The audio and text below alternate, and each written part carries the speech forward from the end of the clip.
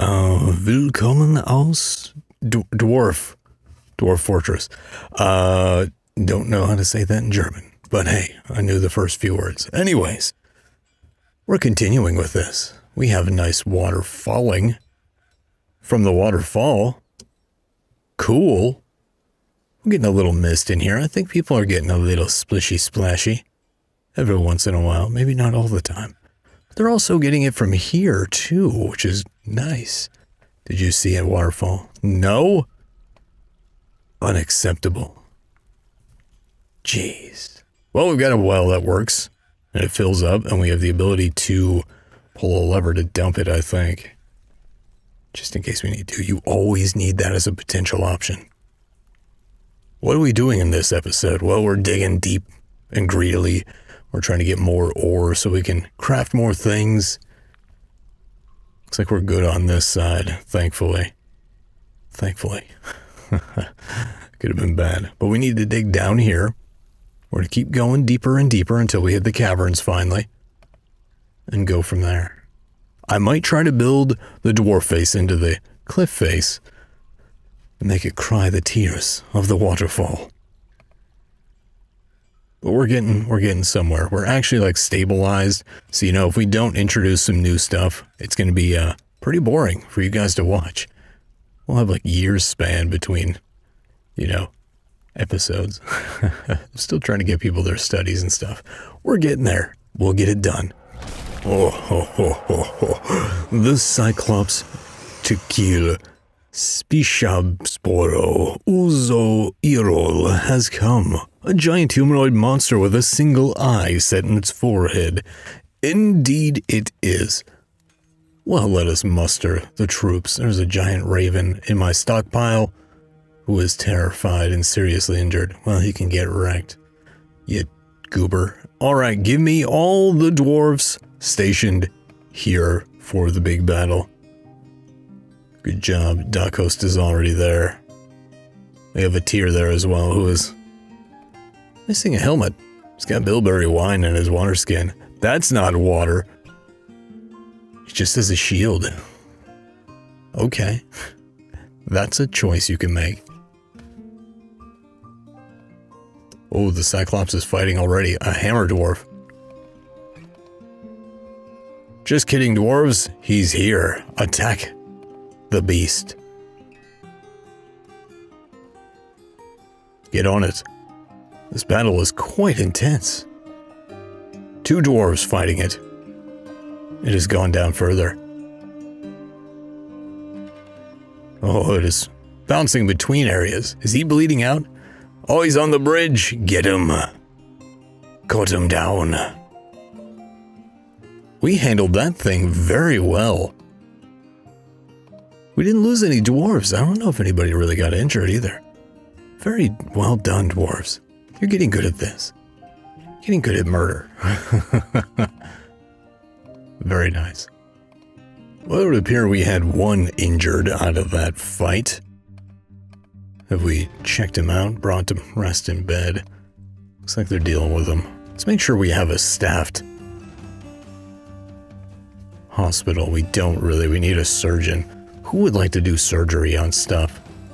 The shearer, you've got skill with scissors and stuff. You should be able to do it. This is very intense music for, you know, just going about our daily lives. oh, did you like that? Being near a waterfall, yeah, great. This is going to boost our moods significantly in the fort. What the hell is pudding stone? Oh, we're hitting this again. Okay. Well, here's what we're going to do. We're going to do a little bit of digging down. And so it continues. we're digging out bedrooms. This carpenter is drunk off their ass. What are you doing, Labash? That's not Labash. Where are you at? Who knows? Whatever, not my problem. Keep digging, Dwarf. Ooh, lavender jade. That'd be nice to make walls out of, wouldn't it? Ooh. Ah, the caravan from Austin, Lozas, has arrived. We've cut gems, we have slaughtered a bull, we have done things and stuff, we've spun thread. We're hitting dirt, so this is probably as far as I want to go over here before we hit more dirt. we're just going to hit more. I don't want cave-ins happening and stuff. That would not be ideal, so we're going to replace that with a little bit of something else.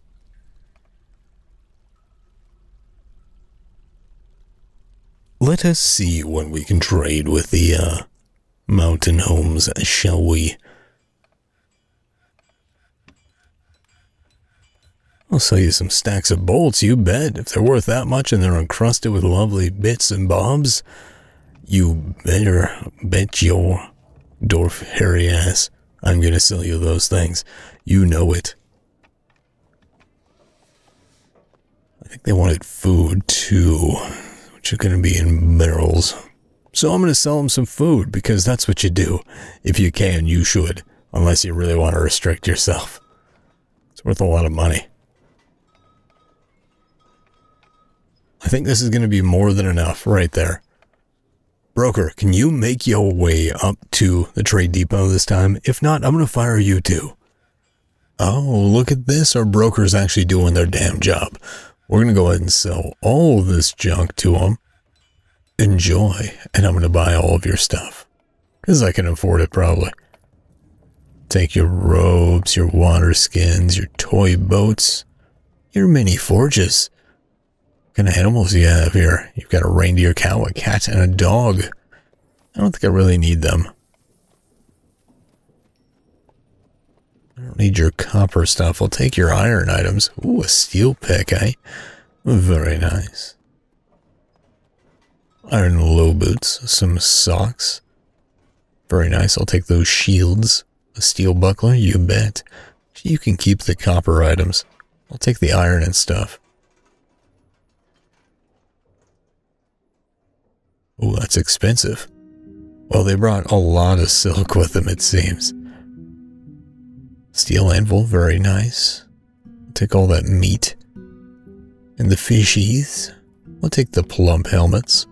And all the leaves and fruit, because those don't cost very much.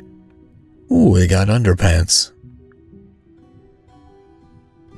Do I need to make some quivers? I may be missing quivers. That might be an issue. I'll buy all your cheese. Uh, of course.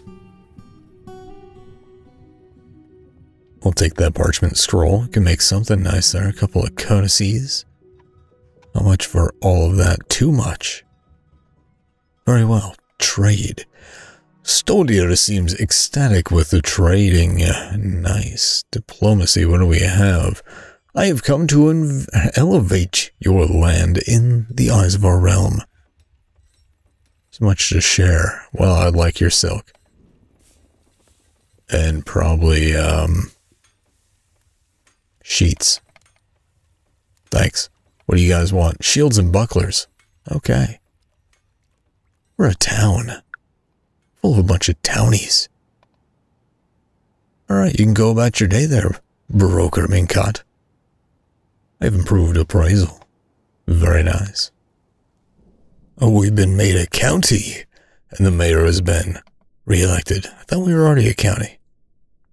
Huh. We don't really have any counts, though.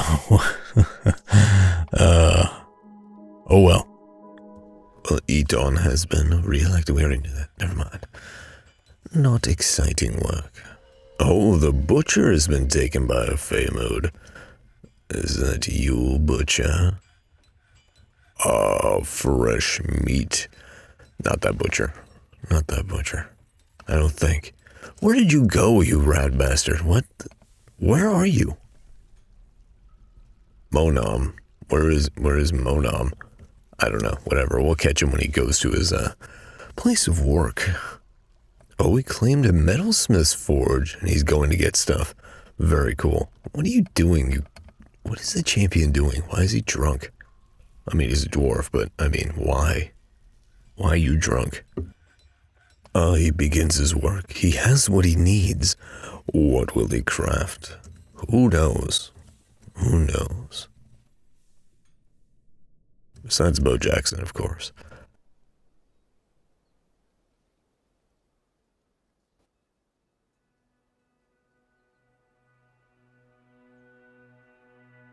Ah, we have some migrants that are coming in.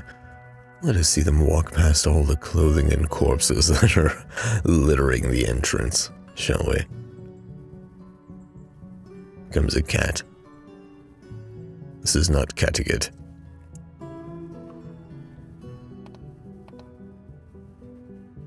The first migrant arrives. The second one. We're getting quite a few. We're gonna need more housing. Quite a few indeed.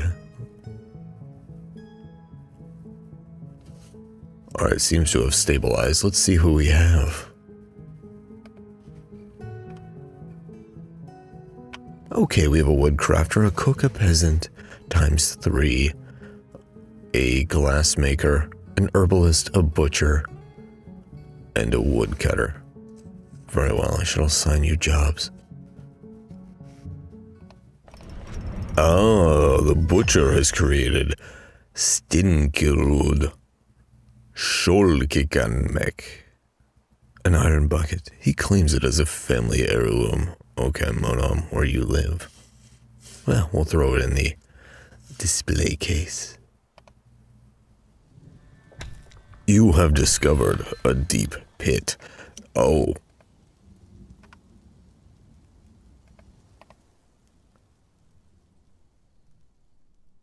Well, very well, dwarf. Welcome to the shite show. You have opened up quite a bit. This deep pit doesn't say cavern, which is disconcerting. That might mean it keeps going and going. Okay, well, we have found the cavern layer finally.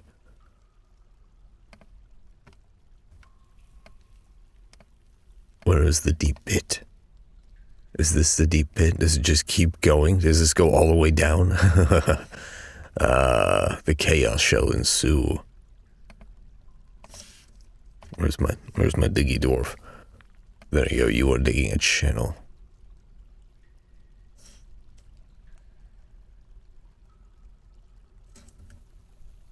This seems like a nice pillar to cut through to get deep. All the way down here. I think that's what I'm gonna do. Oh, the miner is out here beating the snot out of some dingoes. Well done, using his pick. He is thirsty. He would like a drink. I don't know why you're going down there for a drink when you're not going to the tavern, but, you know, you do you. Oh, the performer has drowned. That hasn't happened in a long time. Or did we just find him and somebody fell off? I don't know. You fell off, Cook. How good of a swimmer are you? You're a novice swimmer. You can get out of this. Probably. I guess we just found their body finally. Okay, well, I'm trying to dig, thank you. I'm a little busy. I'm trying to dig my way down through this stupid, stupid aquifer. Uh, it is never an easy task.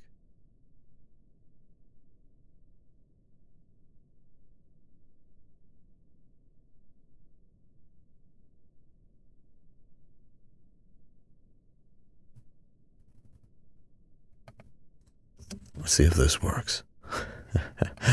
Lots of fighting going on over here. Um, and why? Looks like we have one.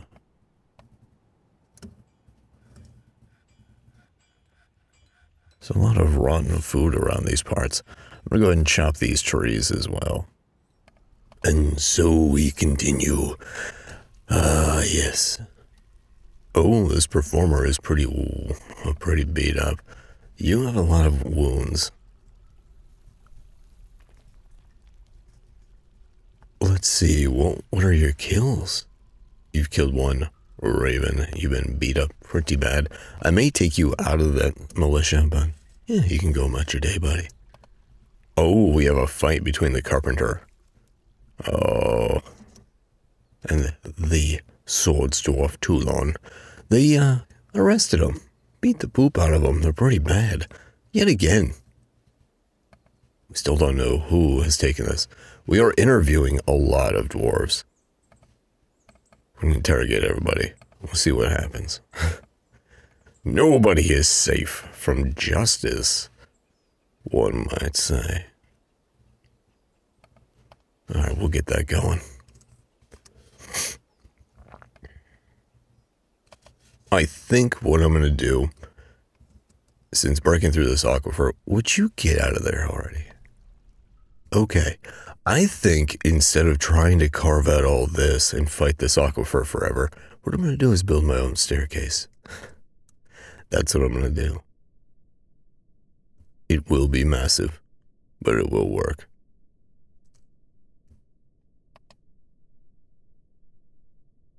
We'll go I'd say here. I think this would work. Okay. We're sending the militia out to deal with this raven. It killed our guinea cock. We will kill it.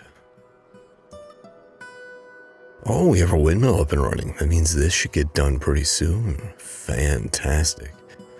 Fan friggin' tastic. Get that millstone up and running, we can start making a lot of cool stuff. Like mead, from honey, we can make waxworks. How are you doing there, Mace Dwarf? Your ability to stand has been lost. You probably need to leave the, the militia. Alright. Diggle.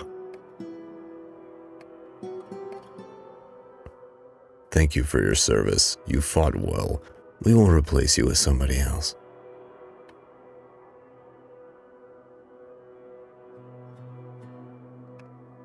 Butcher. Welcome to the Clear Post. Thank you for your service, uh. What kills did you have in the military? None. You just got the snot beat out of you. Well, that's okay. We got a drunk champion on duty. That's not good. Odom got thrown in a cage. Ooh, we have struck hematite. Lovely. Maybe we'll dig that out as a vein, but maybe not. Oh, appears we have caught a raven in our cage trap here. Nice. Nice. Well, we'll try to train them. We have three caged ones. We're going to train these bad boys, just like I'm trying to train them in my, my backyard. I have ravens that I've been feeding, and they are uh, very close to being comfortable with me. I'm quite proud of that fact. My neighbors probably don't like it because they go and eat the food on their roofs. Oh well. And so winter begins and the great thaw starts.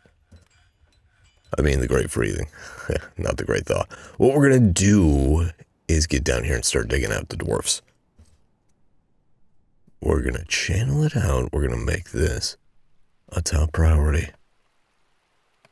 We're to get all the bodies out of the freezing river. We'll leave that one.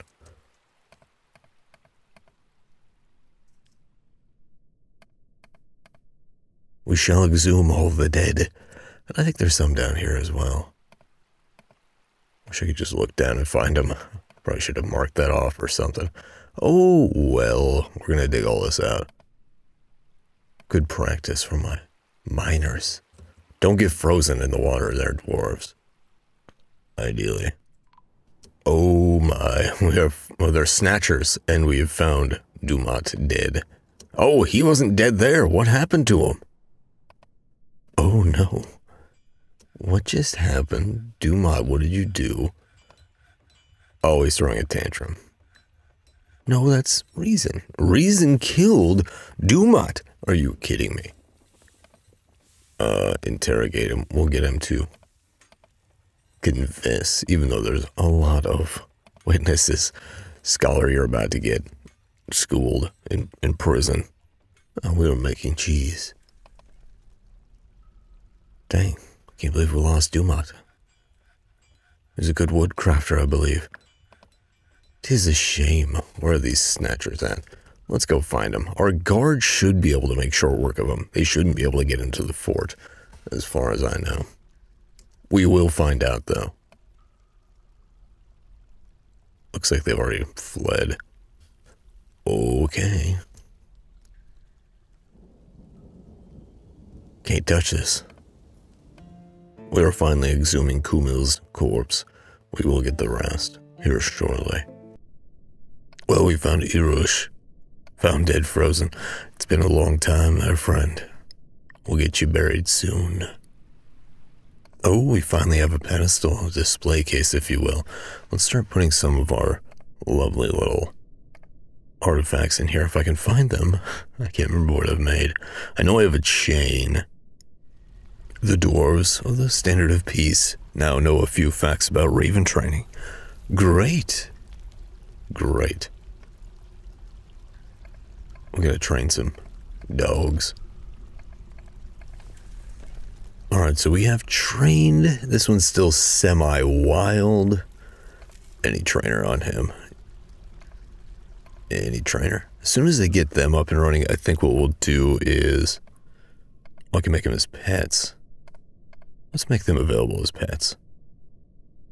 Let's do that. Oh, reason. The scholar is throwing a tantrum yet again. Great.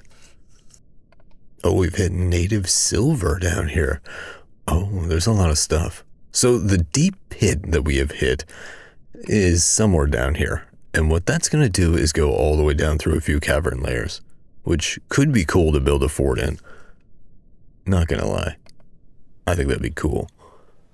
Dangerous. Like Iceman. Wait a minute, no, Iceman said it. Never mind. I'll shut up. Oh, we have fighting going on. A porcupine has walked his way in to the gates. Well, we were beating the snot out of the thing. Well done, Dobar. Maybe I take you out of the the guard. I think that's an issue, because now you can't do your job. that's the dungeon master. Who would like to replace him? Izum, you're, you're wounded. Aerith, you're going to go join the, the main guard. Enjoy your post. Interviewing dwarfs. They're Dobar. Oh, he's named Mountain Rinse. That's kind of cool.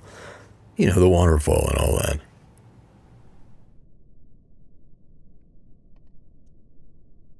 Oh, Izum's throwing a tantrum. uh, yeah, we have a lot of haggard, really angry dwarves. That could be the downfall of this place. They have all they all have nice rooms. There's not that much for them to do. Oh, dog brain stew, lovely. Limestone table improved masterfully. Great. Things are a little little spicy. We we may never recover these 36 that are just always angry. But I think we're slowly going up. And making people happy. And so into the midwinter of the year 125, we are making quite a bit of progress. The dining hall for everybody is well engraved. We have our throne room. We have our first artifact on display. So Gingavuz the ring.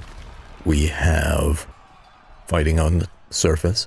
We are getting a lot of this done. We're starting to fill in over this so they don't get rained or snowed on, ideally.